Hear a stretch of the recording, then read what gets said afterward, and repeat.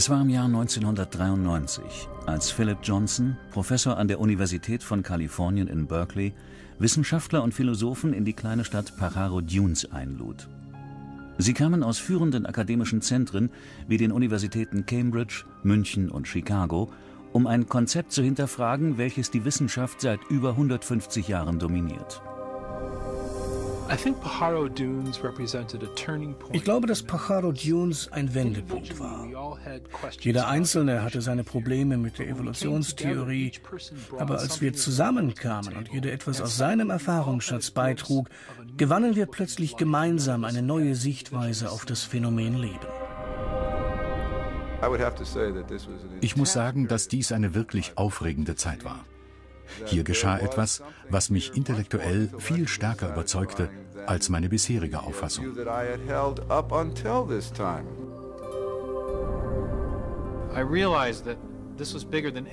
Ich erkannte, dass hier eine Gemeinschaft von Wissenschaftlern wirklich bereit war, sich an das größte Geheimnis heranzuwagen, nämlich die Entstehung des Lebens.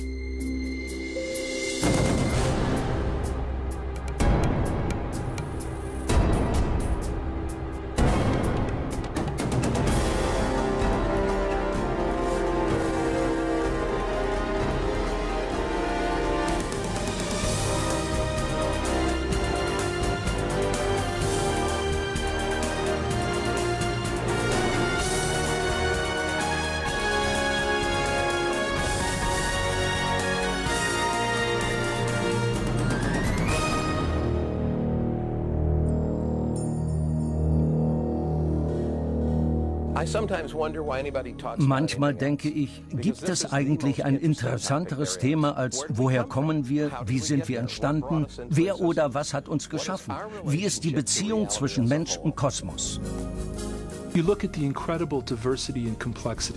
Man schaut auf die unglaubliche Vielfalt und Komplexität des Lebens. Und unvermeidlich stellt man die Frage, wie konnte das alles entstehen?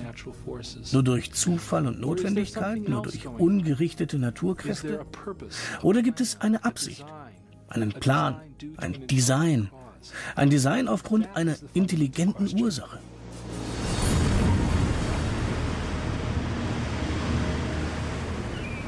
Die Wissenschaftler in Pajaro Dunes begannen, das Geheimnis des Lebens neu zu betrachten. Denn sie alle waren unzufrieden mit den Erklärungen der Evolutionstheorie. Der Biochemiker Michael Behe stellte die Frage, wie die komplizierten Strukturen in lebenden Zellen allein durch natürliche Vorgänge entstehen konnten. Und der Evolutionsbiologe Dean Kenyon zweifelte daran, dass das Leben allein auf chemische Prozesse zurückzuführen sei. Stephen Mayer, Paul Nelson und William Dembski suchten nach einer neuen Erklärung für die Herkunft der genetischen Information in lebenden Organismen. Diese Forscher begannen damit, eine Alternative zu der zentralen Theorie der modernen Biologie zu entwickeln, die von einem britischen Naturforscher aufgestellt worden war von Charles Darwin.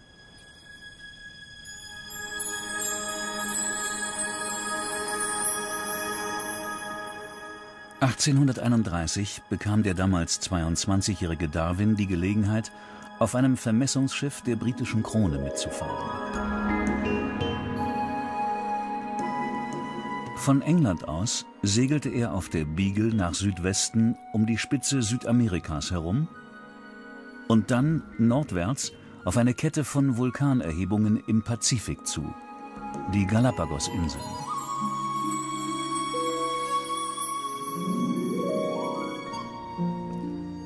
Hier, 600 Meilen von der Westküste Ecuadors entfernt, entdeckte Charles Darwin eine Reihe außergewöhnlicher Vögel, Reptilien und Säugetiere, die er noch nie gesehen hatte.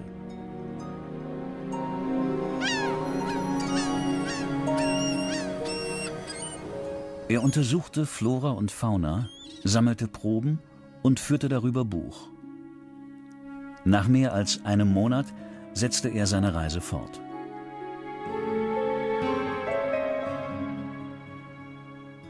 Fünfundzwanzig Jahre später entwarf er eine Theorie, wie die vielfältigen Lebensformen auf der Erde entstanden sein könnten.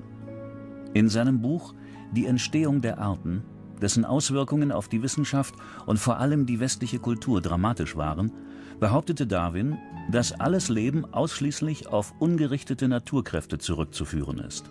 Auf die Zeit, den Zufall und einen Prozess, den er natürliche Auslese nannte.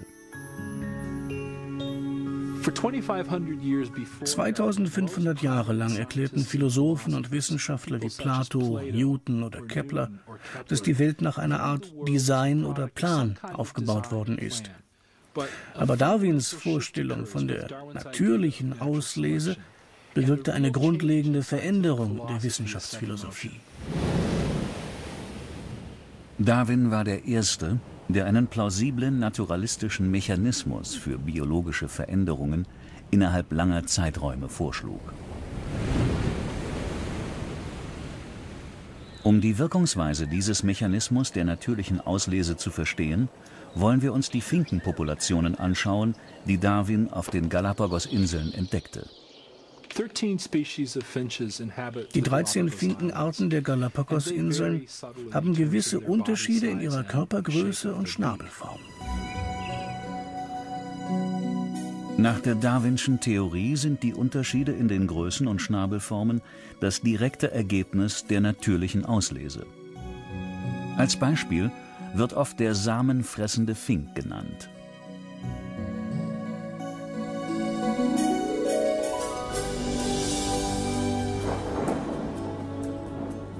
Nach schweren Regenfällen gibt es im Überfluss kleine, weiche Samen, die von Vögeln mit kurzen Schnäbeln leicht gefressen werden können. Während der Dürreperioden dagegen haben die einzig auffindbaren Samen harte, raue Schalen. Sie sind vom vergangenen Jahr übrig geblieben und können nur von Vögeln mit längeren, spitzeren Schnäbeln aufgehackt werden.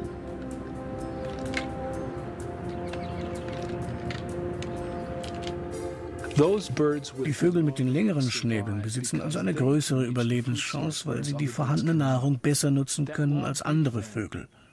Damit haben sie das, was Biologen heute einen funktionellen Selektionsvorteil nennen. Demgegenüber sterben Finken mit kleineren Schnäbeln eher an Entkräftung, weil sie nicht so gut an die Nahrungsquelle gelangen können. Wenn die Dürreperioden über lange Zeiträume anhalten, verändern sich die Merkmale der gesamten Finkenpopulation. Nur die Vögel mit längeren Schnäbeln überleben und vererben sie an die folgenden Generationen. Die Idee der natürlichen Selektion war bestechend. Vorteilhafte physische Veränderungen werden von den folgenden Generationen geerbt und im Lauf der Zeit verändern sich nicht nur ganze Populationen, sondern es entstehen völlig neue Organismen, ohne irgendeine Form von intelligenter Steuerung.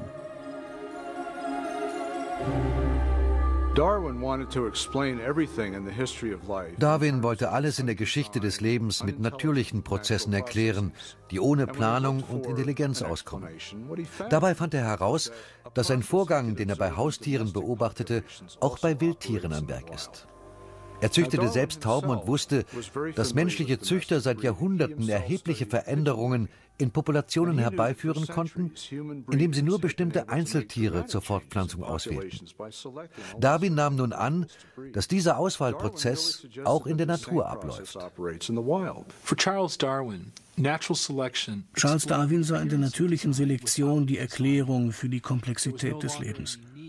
Es gab nun keine Notwendigkeit mehr, sich auf eine intelligente Ursache zu berufen. Und somit löste die Idee der natürlichen Auslese die vom Designer ab. Heute wird der Darwinismus in der wissenschaftlichen und akademischen Welt allgemein akzeptiert. Doch eine wachsende Zahl von Wissenschaftlern, darunter diejenigen, die sich in Pajaro Dunes getroffen haben, stellt zentrale Aspekte der Darwinschen Theorie in Frage. In Pajaro Dunes stimmten wir sicher nicht in allen Punkten überein. Aber mit dem Mechanismus der natürlichen Selektion und seinem Stellenwert waren wir alle höchst unzufrieden. Zwar ist natürliche Selektion ein realer Prozess und kleine Veränderungsschritte lassen sich dadurch erklären. Aber entgegen Darwins Überzeugung liefert sie keine ausreichende Erklärung für die Entstehung höherer Taxa. Eine geringe Veränderung der Struktur des Finkenschnabels beantwortet noch nicht die Frage, wie der Fink als Ganzes entstanden sein kann. Das ist ein Phänomen ganz anderer Größenordnung. Die Biologie muss fragen, wo ist natürliche Selektion am Werk und wo nicht. Und warum ist das ein Unterschied?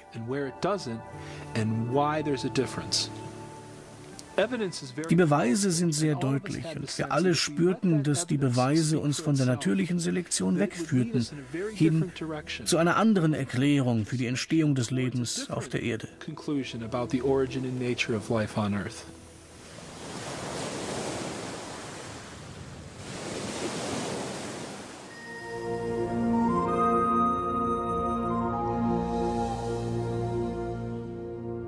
Natürliche Auslese nutzt ausschließlich kleine, aufeinanderfolgende Veränderungen.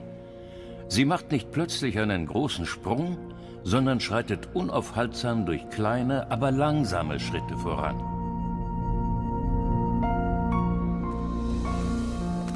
Es ist wirklich interessant. Je mehr wir über das Leben und die Biologie wissen, desto größer werden die Probleme mit Darwins Theorie und desto plausibler wird die sein. Seit 1988 untersucht Dr. Michael Behe komplexe biologische Systeme, die nicht durch natürliche Auslese erklärt werden können. Lange Zeit glaubte ich, dass die darwinsche Evolutionstheorie erklären kann, was wir in der Biologie beobachten.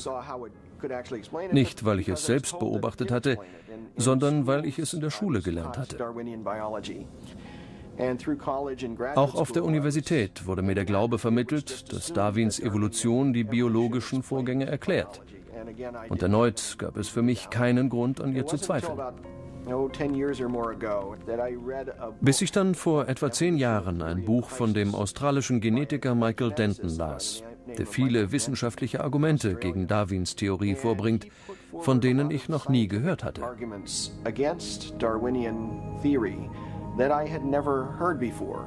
Und die Argumente klangen ziemlich überzeugend. Ich war wirklich irritiert. Hier standen viele sehr gute Argumente. Und obwohl ich promovierter Biochemiker und Fakultätsmitglied war, hatte ich niemals von diesen Dingen gehört.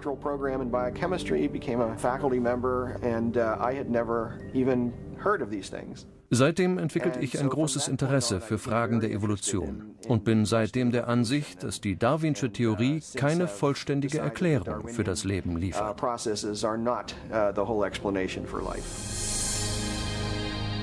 Michael Behes Ansicht wurde wesentlich von dem geprägt, was die moderne Biologie über die kleinste Einheit des Lebens, die Zelle, herausgefunden hatte. Im 19. Jahrhundert, zu Darwins Lebzeiten, dachten die Wissenschaftler, die Zelle sei ein einfacher Klumpen aus Protoplasma, ähnlich wie ein kleines Stück Wackelpudding, nicht schwer zu erklären. Diese Auffassung änderte sich kaum bis in die frühen 50er Jahre. Aber seitdem ist unser Wissen über die Zelle geradezu explodiert.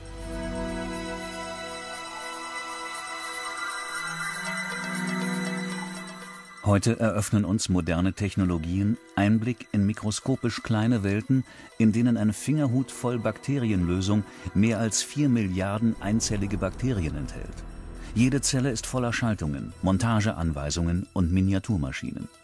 Eine Komplexität, die sich Charles Darwin damals nicht vorstellen konnte.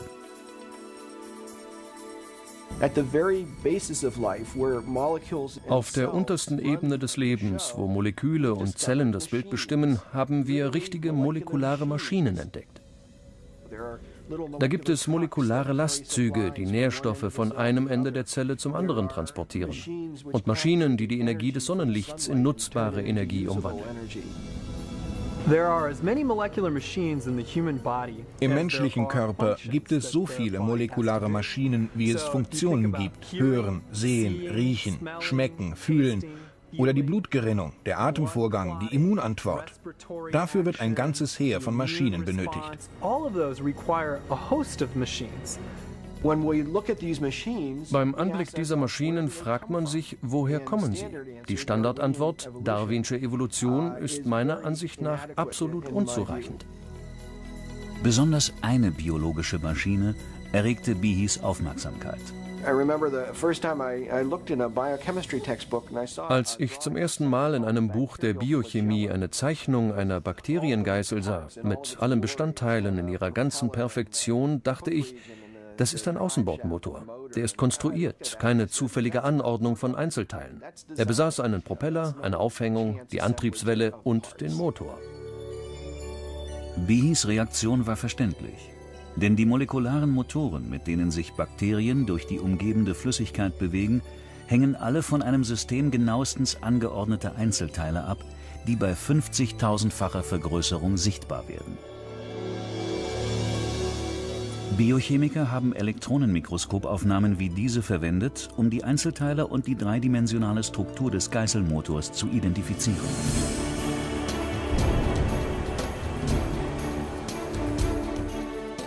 Was sie dabei entdeckt haben, ist ein Wunder der Technik auf winzigster Ebene. Howard Berg at Harvard has labeled it the most efficient machine in the universe. Howard Berg von Harvard hat die Geißel als die effizienteste Maschine im Universum bezeichnet. Sie macht bis zu 100.000 Umdrehungen pro Minute und ist mit Sendern und Empfängern ausgestattet, sodass sie Feedback von ihrer Umgebung bekommt. Und obwohl sie sich so schnell drehen, können sie in einer Viertelumdrehung abrupt anhalten und sich dann mit 100.000 Umdrehungen pro Minute in die entgegengesetzte Richtung drehen. Und genau wie bei einem Außenbordmotor besteht die Geißel aus vielen Einzelteilen, die für das Funktionieren notwendig sind. Sie hat einen Vorwärts- und Rückwärtsgang, ist wassergekühlt, hat Protonenantrieb. Sie hat einen Stator, einen Rotor, ein U-Gelenk, eine Antriebswelle und einen Propeller und sie funktionieren wie die entsprechenden Maschinenteile. Wir geben ihnen diese Namen nicht willkürlich, sondern nach ihrer wirklichen Funktion. Seit seiner Entdeckung versuchten Wissenschaftler, die Entstehung des Rotationsmotors durch natürliche Auslese zu verstehen, doch bis jetzt blieben sie einer Erklärung im Sinne Darwins schuldig. Um dies zu begreifen, müssen wir eine Eigenschaft molekularer Maschinen verstehen, nämlich die nicht reduzierbare Komplexität. Dieser Begriff wurde von Mike Behe geprägt. In jedem Zellorgan oder System innerhalb einer Zelle haben wir es mit einem Zusammenspiel zahlreicher Komponenten zu tun. Entfernt man nun einen beliebigen Bestandteil, verliert das System seine Funktionsfähigkeit. Die nicht reduzierbare Komplexität kann gut mit einer bekannten Maschine veranschaulicht werden, einer Mausefalle. Die Falle besteht aus fünf Bestandteilen. Einem Haken für den Köder, einer Feder, einer gebogenen Stange, dem Hammer, einer Arretierung, die ihn hält und einem Brett, auf dem das ganze System angebracht ist. Fehlt auch nur ein einziges Teil, funktioniert der gesamte Mechanismus nicht mehr. Alle Bestandteile des nicht reduzierbaren komplexen Systems müssen gleichzeitig vorhanden sein, damit die Maschine ihre Funktion ausführen kann. Mäuse fangen. Nicht reduzierbare Komplexität finden wir auch bei biologischen Maschinen wie dem bakteriellen Geißelmotor. Etwa 40 verschiedene Proteinbestandteile sind für die Funktion dieser Maschine nötig. Fehlt einer dieser Bestandteile, wie die Aufhängung oder die Antriebswelle, erhält man entweder eine Geißel, die nicht funktioniert, oder aber sie kann in der Zelle gar nicht erst hergestellt werden.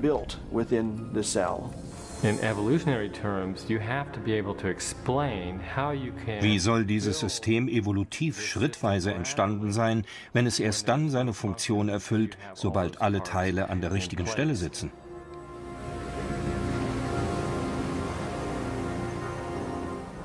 Die nicht reduzierbare Komplexität molekularer Maschinen stellt eine ernste Herausforderung für den Geltungsanspruch der natürlichen Selektion dar. Gemäß Darwins Theorie können sogar komplexe biologische Organe, wie ein Auge, ein Ohr oder ein Herz, allmählich in kleinen aufeinander aufbauenden Schritten entstehen. Nach Darwin ist natürliche Selektion jedoch nur wirksam, wenn zufällige Veränderungen dem evolvierenden Organismus in seinem Überlebenskampf einen Vorteil verschaffen. Wie ich zu zeigen versuchte, muss man nicht notwendig annehmen, dass die Veränderungen alle gleichzeitig stattfanden, auch wenn sie äußerst geringfügig und schrittweise vor sich gehen.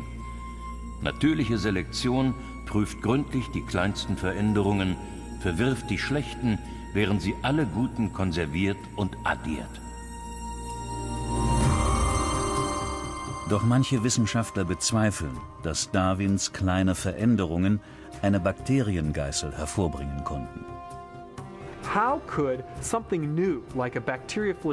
Wie sollte sich etwas Neues wie der Geißelmotor mit all den dazugehörigen Komponenten in einer Population von Bakterien entwickeln, die diesen Antriebsmechanismus noch gar nicht besitzt, wenn doch gemäß Darwins Theorie jede Veränderung irgendeinen Vorteil mit sich bringen muss? Stellen Sie sich folgendes Szenario in der frühen Erdgeschichte vor. Ein Bakterium entwickelt irgendwie einen Schwanz. Und vielleicht sogar die Teile, die zu dessen Befestigung an der Zellwand nötig sind. Doch ohne einen vollständigen Motor würde diese Innovation unbeweglich und nutzlos herumhängen. Unsichtbar für die natürliche Selektion. Denn die begünstigt definitionsgemäß nur Veränderungen, die die Überlebenschancen verbessern. Die Logik der natürlichen Selektion ist sehr anspruchsvoll. Solange die Geißel nicht vollständig zusammengesetzt ist und wirklich funktioniert, kann die natürliche Selektion sie nicht bewahren und an die nächste Generation weitergeben. Die natürliche Selektion kann nur funktionelle Vorteile selektieren. In den meisten Fällen aber beseitigt die natürliche Selektion einzelne Bestandteile des Organismus, und zwar solche, die unnütz oder schädlich sind.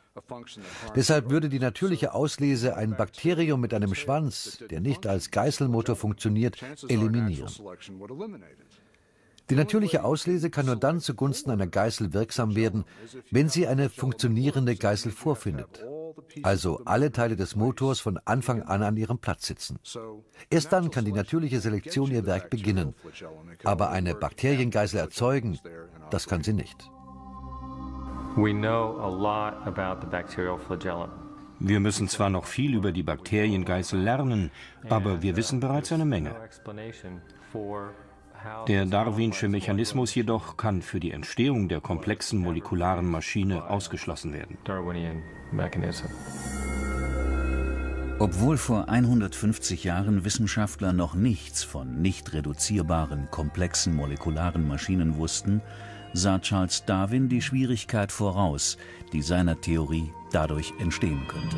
Wenn gezeigt werden könnte, dass ein komplexes Organ existiert, das sich in keiner Weise mittels mehrerer, aufeinanderfolgender, geringfügiger Veränderungen gebildet haben kann, so würde meine Theorie mit Sicherheit zusammenbrechen.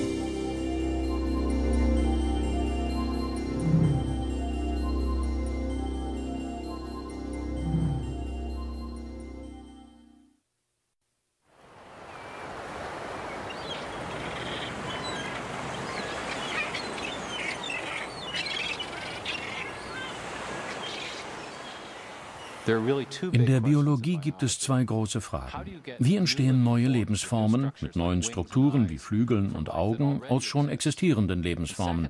Und wie entstand überhaupt das erste Leben auf der Erde?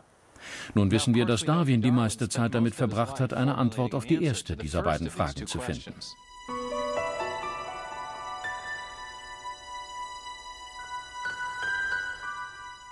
Charles Darwin verglich die Geschichte des Lebens mit einem großen, sich verzweigenden Baum. Der Fuß des Baumes stellte die erste lebende Zelle dar, während die Äste neue, komplexere Lebensformen sein sollten, die sich im Lauf der Zeit aus dem ersten primitiven Organismus entwickelt hatten.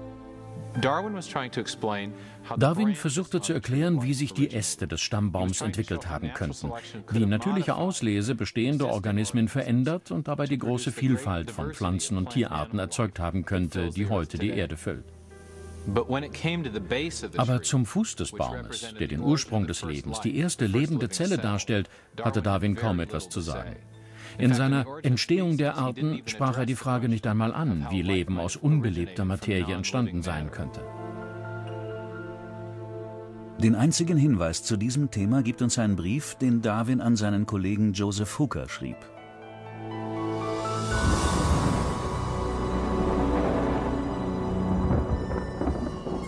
bezüglich der Entstehung der ersten lebenden Organismen, wenn, oh was für ein großes Wenn, wir uns vorstellen könnten, dass in kleinen warmen Teichen mit allerlei Ammoniak und Phosphorsalzen in Gegenwart von Licht, Wärme und Elektrizität sich eine Proteinverbindung chemisch bilden würde, fähig zu noch komplexeren Reaktionen. Heute würden solche Verbindungen sofort ausgetilgt. Aber damals als lebende Kreaturen noch nicht gebildet waren, war das vielleicht nicht der Fall. In seinen letzten Lebensjahren verfolgte Darwin den Gedanken, dass eine primitive Zelle aus einfachen chemischen Verbindungen in der Ursuppe der frühen Erde entstanden sein könnte, kaum noch weiter. Erst in den 20er und 30er Jahren des 20. Jahrhunderts stellte der Russe Alexander Oparin eine detaillierte Theorie darüber auf, die sogenannte chemische Evolution.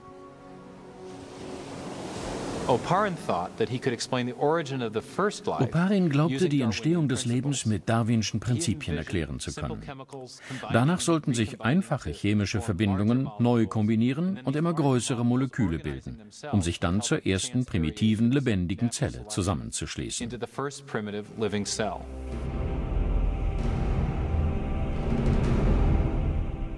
In den nächsten Jahrzehnten versuchten viele Wissenschaftler, die Fragen zu beantworten, die Oparin und Darwin aufgeworfen hatten. Wie konnte Leben aus einfachen chemischen Verbindungen entstanden sein?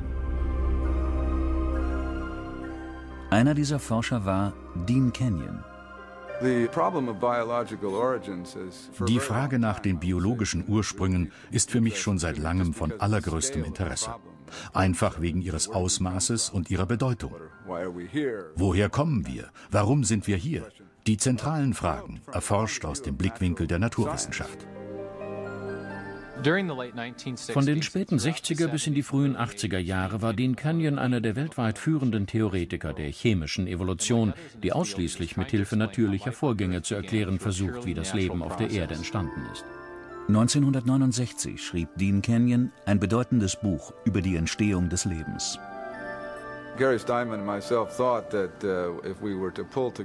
Gary Steinman und ich dachten, wir müssen eigentlich nur alle Fäden empirischer Indizien, die bis zum Ende der 60er Jahre erforscht waren, zu einem kontinuierlichen Ganzen zusammenflechten und glaubten begeistert daran, die Entstehung der Hauptbestandteile des Lebens erklären zu können.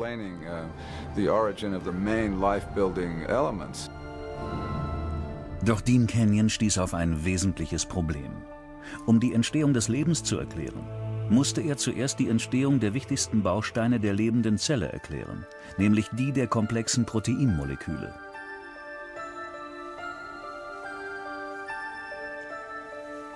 Proteine erfüllen sehr viele Aufgaben in der Zelle, von strukturellen Erfordernissen wie der Bildung des Zellgrundgerüsts, des sogenannten Zytoskeletts bis hin zu Enzymen.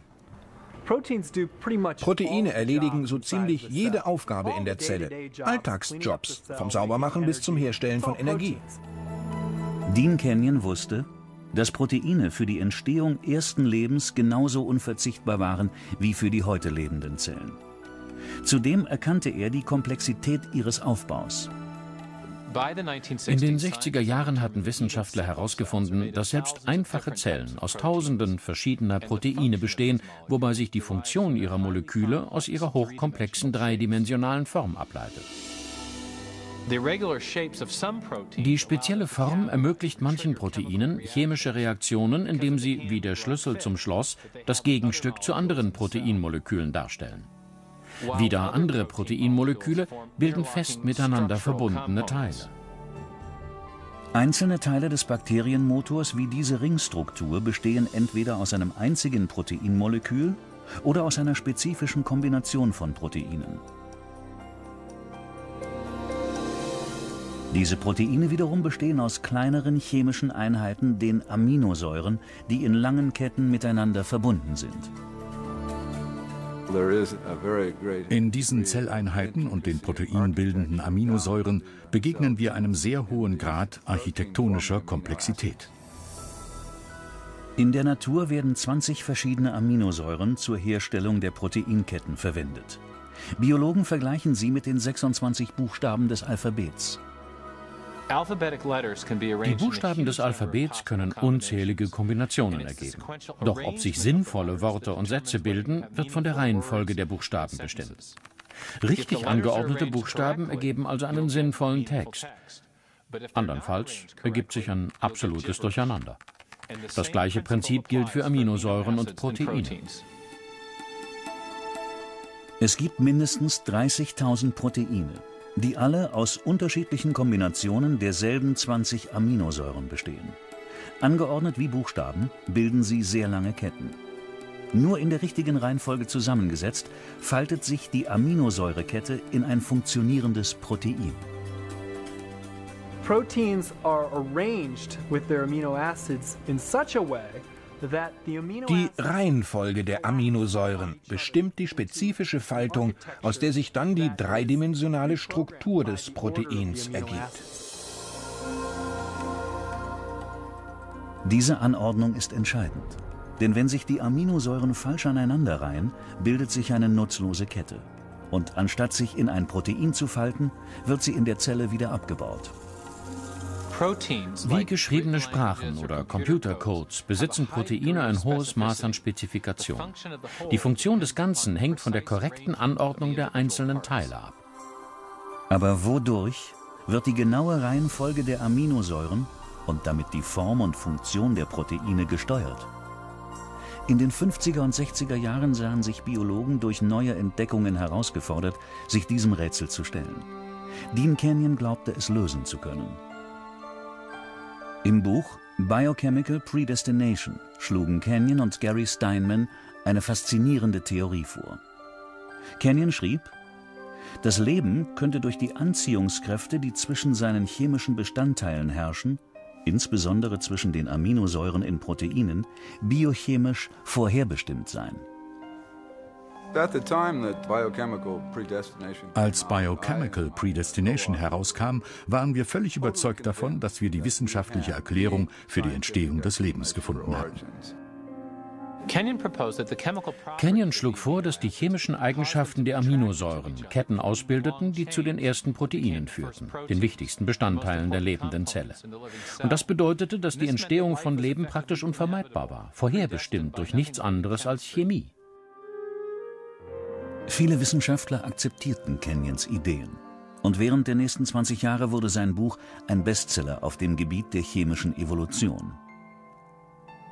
Doch schon fünf Jahre nach der Veröffentlichung begann Kenyon an seiner eigenen Theorie zu zweifeln.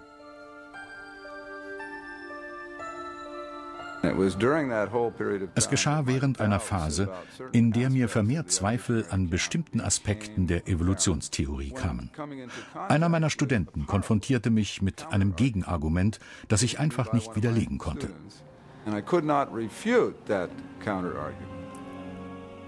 Kenyon sah sich gezwungen zu erklären, wie sich die ersten Proteine auf der Urerde ohne die Hilfe genetischer Information formieren konnten. Denn die Aminosäureketten in gegenwärtig lebenden Zellen bilden sich nicht durch die Anziehungskräfte zwischen ihren Einzelteilen, sondern werden durch Baupläne bestimmt, die in einem anderen großen Molekül der Zelle gespeichert sind, der DNA.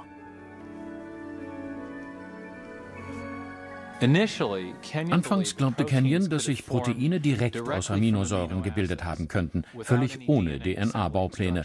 Und deshalb waren so viele Wissenschaftler begeistert von seiner Theorie. Aber je mehr er und andere über Aminosäuren und Proteine herausfanden, desto mehr zweifelte er daran, dass sich Proteine selbst ohne DNA zusammensetzen konnten. Im DNA-Molekül begegnete Dean Kenyon einem Phänomen, das er nicht mit natürlichen Vorgängen erklären konnte. Denn die DNA-Doppelhelix-Struktur ist voller Information. Exakt aufeinander folgende chemische Verbindungen, die man mit den Buchstaben A, C, T, und G bezeichnet. In der geschriebenen Sprache wird Information durch die genaue Anordnung von Buchstaben vermittelt. Genauso werden die Bauanweisungen für die Zusammenstellung der Aminosäuren zu Proteinen durch die Sequenz der Basenpaare entlang der DNA bestimmt. Dieser chemische Code wird Sprache des Lebens genannt und stellt das komprimierteste und ausgefeilteste Speichermedium für Information im ganzen uns bekannten Universum dar. Wie andere Wissenschaftler, die sich mit der Entstehung des Lebens beschäftigen, musste Kenyon entweder erklären, woher diese genetischen Baupläne kamen, oder er musste erklären, wie in den Urozeanen Proteine direkt aus Aminosäuren ohne DNA entstanden sein könnten. Am Ende war ihm klar, dass er keines von beiden erklären konnte.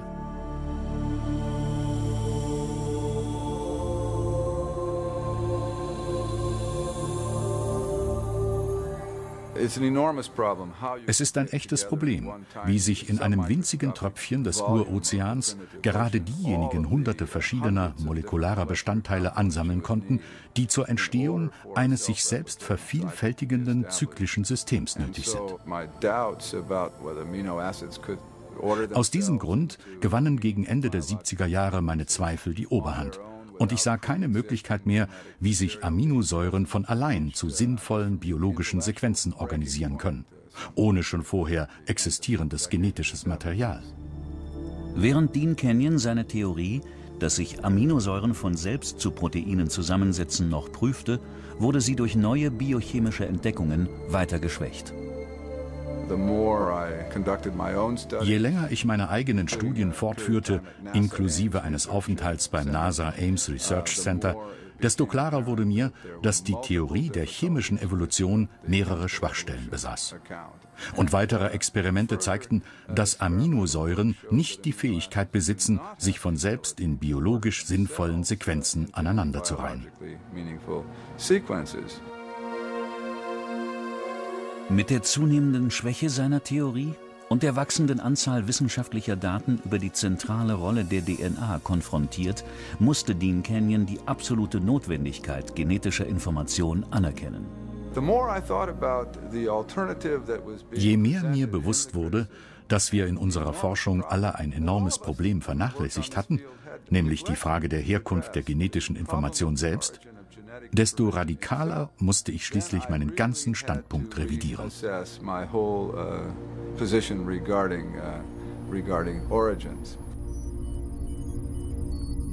Eine neue Frage rückte für Dean Canyon in den Vordergrund.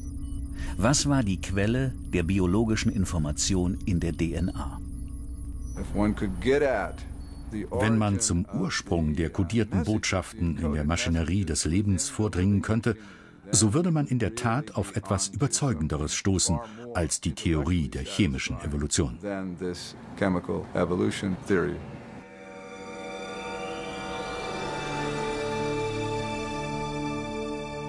Zudem war Dean Canyon nicht entgangen, dass die meisten Forscher den Gedanken verworfen hatten, dass die zum Bau der ersten Zelle notwendige Information ausschließlich durch Zufall entstanden sei.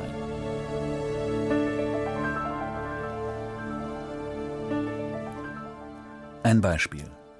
Es ist mehr als unwahrscheinlich, dass sich auch nur eine einzige Zeile aus Shakespeares Hamlet bildet, indem man Scrabble-Buchstaben auf eine Tischplatte fallen lässt.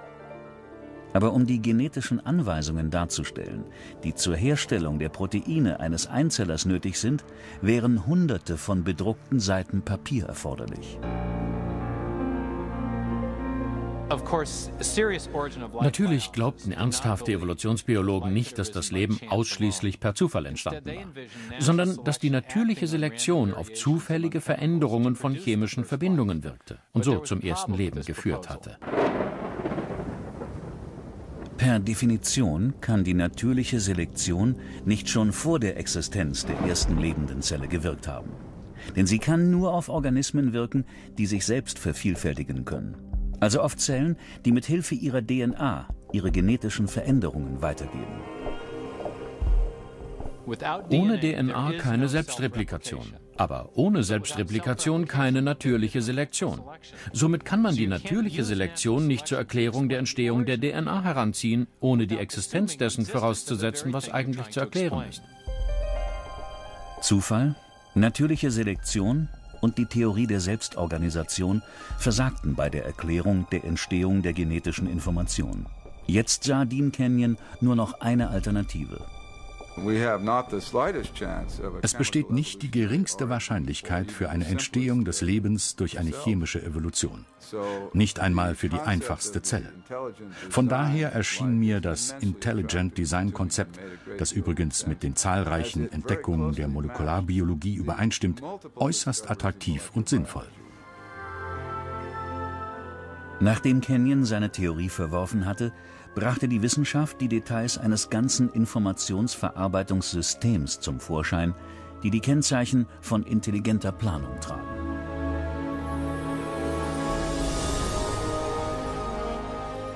Mittels Computeranimation können wir in der Zelle selbst dieses beeindruckende System bei der Arbeit sehen.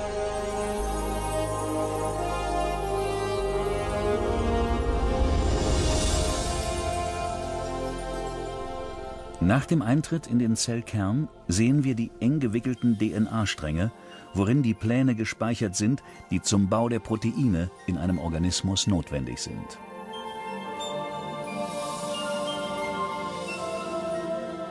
In einem Vorgang, der als Transkription bezeichnet wird, wickelt zuerst eine molekulare Maschine einen Abschnitt der DNA-Helix ab, um die genetischen Anweisungen freizulegen, die zur Herstellung eines bestimmten Proteins nötig sind. Eine andere Maschine kopiert diese Anweisungen, indem sie ein Molekül herstellt, das Messenger-RNA genannt wird.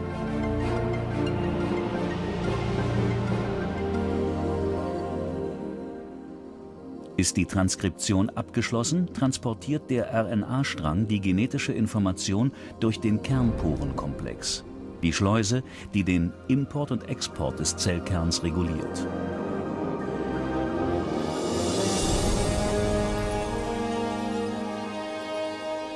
Der Messenger-RNA-Strang wird zum Ribosom geleitet, einer zweiteiligen Molekülfabrik. Nachdem er dort gut befestigt ist, beginnt der Vorgang der Translation.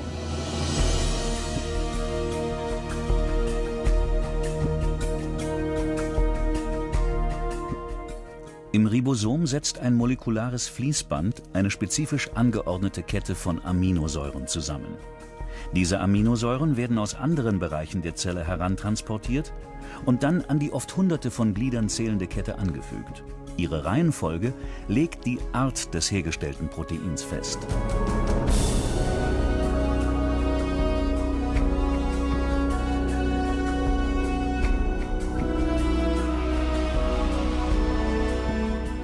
Die fertige Kette gelangt vom Ribosom aus in eine tonnenförmige Maschine, die ihr hilft, sich in die exakte, für ihre Funktion entscheidende Form zu falten.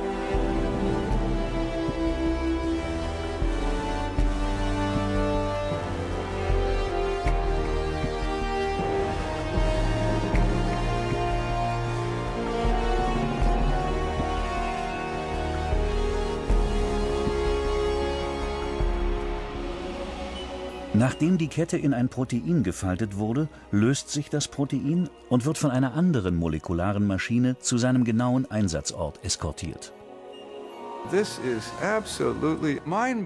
Es ist überwältigend, auf dieser Größenskala einen so fein abgestimmten Apparat zu beobachten, der die Zeichen von Intelligenz in Design und Herstellung trägt. Vor uns liegen die Details eines unglaublich komplexen Reiches genetischer Informationsverarbeitung. Und genau in diesem neuen Reich molekularer Genetik entdecken wir die überzeugendsten Beweise für Design auf der Erde.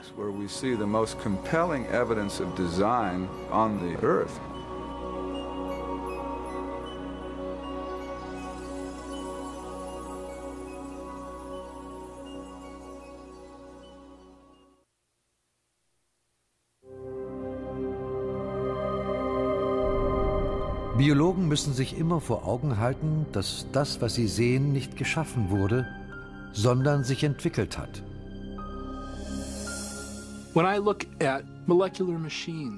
Wenn ich die molekularen Maschinen oder den unglaublich komplexen Vorgang der Zellteilung sehe, frage ich mich, ob hinter diesen Dingen nicht eine Intelligenz, ein Plan oder eine Absicht stehen.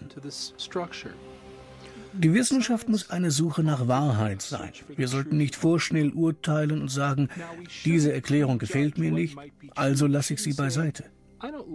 Wenn wir in der Natur auf ein Rätsel stoßen, sollten wir vielmehr jede mögliche Ursache in Erwägung ziehen, die eine Erklärung liefern könnte. Ein Problem mit der Evolutionstheorie besteht für mich darin, dass sie willkürlich eine ganze Kategorie von Ursachen ausschließt, bevor die Indizien eine Chance bekommen, beachtet zu werden. Und die Ursache, die ausgeschlossen wird, ist die Intelligenz.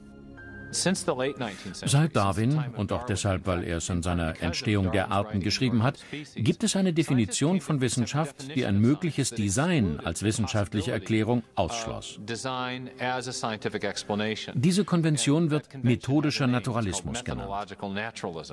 Will man wissenschaftlich sein, muss man sich beschränken und darf nur auf natürliche Ursachen als Erklärung zurückgreifen. Intelligenz als Ursache darf man nicht heranziehen. Und das, obwohl es zu unserem ganz normalen Denken gehört, zu erkennen, wo Intelligenz am Werk ist. Betrachten wir zum Beispiel diese Hieroglypheninschriften, eingemeißelt in den Ruinen ägyptischer Monumente. Niemand würde die Formen und Anordnungen dieser Symbole natürlichen Ursachen wie Sandstürmen oder Erosion zuschreiben. Stattdessen erkennen wir in ihnen das Werk antiker Schreiber, intelligenter menschlicher Urheber. Ebenso schlussfolgern wir, dass die geheimnisvollen Steinfiguren an der Küste der Osterinseln nicht durch das Wechselspiel von Wind und Wasser über lange Zeiträume geformt wurden. Und wir vermuten auch nicht, dass Pflanzen in solchen uns vertrauten Formen ohne den Eingriff eines intelligenten Wesens wachsen. Natürlich ziehen wir ständig diese Rückschlüsse und wissen, dass sie richtig sind. Aber auf welcher Grundlage ziehen wir diese Rückschlüsse? Was sind die Merkmale, die uns das Erkennen von Intelligenz ermöglichen? Vor kurzem hat der Mathematiker William Dembski in einem Buch mit dem Titel The Design Inference einen bedeutenden Beitrag zum Verständnis geleistet. Dembski hat die spezifischen Eigenschaften ermittelt, an denen wir erkennen, dass Intelligenz am Werk war. Ich fragte mich, welche logischen Schritte durchlaufen wir eigentlich, um zur Schlussfolgerung Design zu gelangen. Ich versuchte also zuverlässige, empirische, streng wissenschaftliche Entscheidungskriterien dafür herzuleiten, ob etwas wirklich designt wurde. Ich suchte nach der inneren Logik und fand heraus, dass dafür zum einen Unwahrscheinlichkeit, zum anderen Spezifikation, das heißt eine erkennbare Struktur, ein objektives Muster nötig sind. Nach Dembski schließen Menschen immer dann richtig auf Intelligenz, wenn sie etwas sehr Unwahrscheinlichem begegnen, das aber mit einem wiedererkennbaren Muster übereinstimmt. Wie dasjenige in den Bergen von Dakota. Im Westen der USA gibt es viele verschiedene Felsformationen, von denen die meisten keine Bedeutung haben. Normalerweise begegnen einem dabei aber nicht die Gesichter von Lincoln, Jefferson, Teddy Roosevelt und George Washington. Die kann man nur in South Dakota sehen. Dieses Felsmuster ist unwahrscheinlich. Ein bestimmter zufällig ausgewählter Berghang ist natürlich auch unwahrscheinlich, aber ein zufälliger Berghang weist keinerlei Spezifikation auf. Wenn ich die Gesichter sehe, erkenne ich sofort, dass sie mit den vier Präsidenten übereinstimmen, die von Geldscheinen oder Porträts aus der National Gallery bekannt sind. Und somit begreife ich, dass ich nicht nur eine höchst unwahrscheinliche Felsformation vor mir habe, sondern eine, die einem unabhängig davon existierenden Muster entspricht. Ein zuverlässiger Hinweis auf Intelligenz. Geringe Wahrscheinlichkeit als auch Spezifikation. Es ist Design.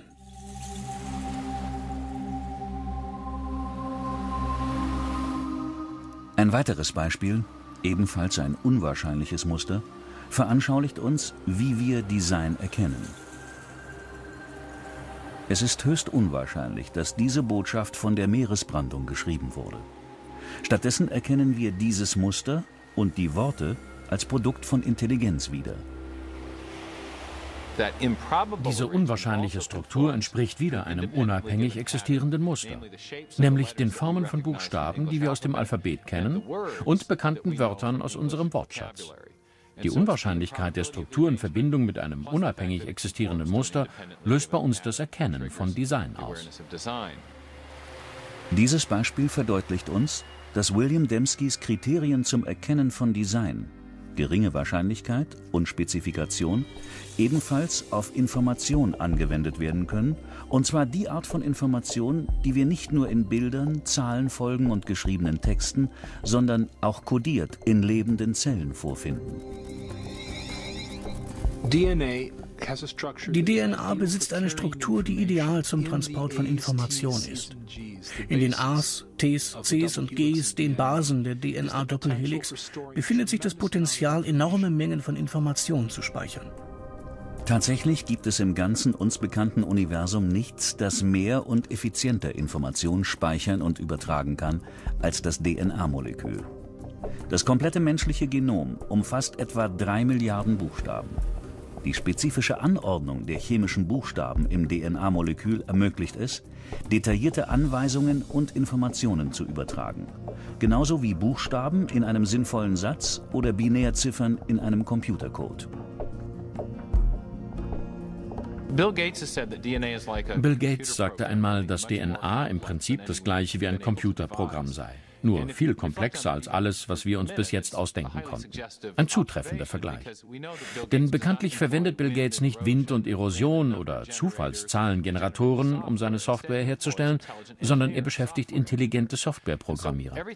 Alles, was wir aus unserer Erfahrung wissen, legt nahe, dass informationsreiche Systeme durch intelligentes Design entstehen.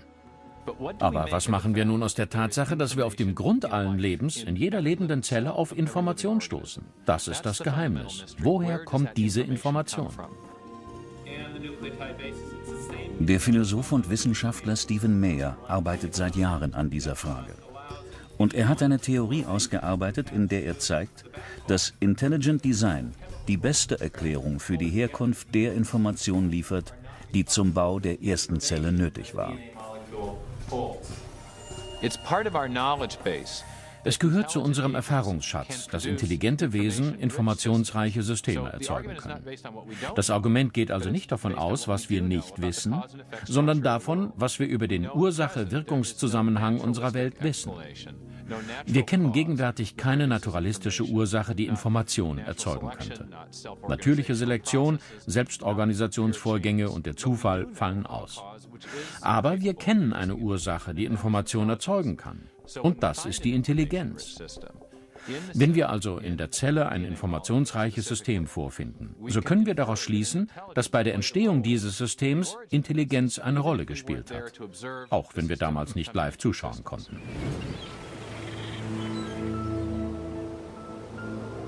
Mayers Arbeit über Information gehört heute zu den immer zahlreicher werdenden wissenschaftlichen Argumenten für Design, deren Wurzeln zum Teil auf das Treffen in Pajaro Dunes im Jahr 1993 zurückgehen. Zwar war es das Ziel der Forscher, die herrschende Lehrmeinung zu hinterfragen, doch wurden sie dabei zu Geburtshelfern einer neuen Theorie, die als Intelligent Design bekannt geworden ist.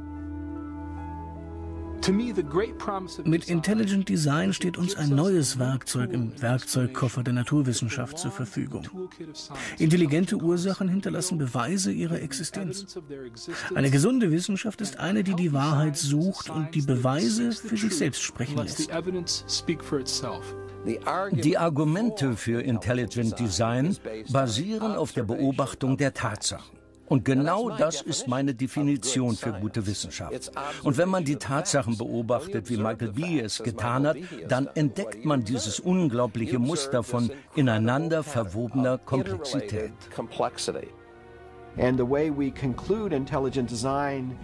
Wie bei einem Außenbordmotor, so schließen wir von der Bakteriengeißel auf intelligentes Design. Wenn wir die Teile eines Außenbordmotors betrachten, wissen wir, jemand muss sie hergestellt haben. Die Argumentation bei biologischen Maschinen ist also genau dieselbe. Und deshalb ist die Schlussfolgerung auf Intelligent Design absolut naturwissenschaftlich. Wenn ich mir die Beweise objektiv ansehe, dann springt mir Design förmlich als die wahrscheinlichste Erklärung entgegen. Und deshalb halte ich sie für wahr. I think design is back on the table. Ich denke, dass wir um Design nicht herumkommen. Wenn die Wahrheit ist, dass diese Systeme designt wurden, dann frage ich, wo liegt das Problem?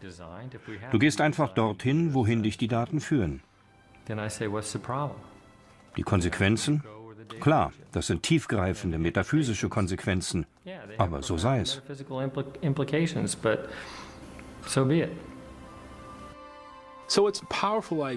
Folglich erweist es sich als ein sehr leistungsfähiges Konzept, dass das Universum rational durchdacht ist, unterschrieben von einer höchsten Intelligenz, die wollte, dass wir diese Welt verstehen können.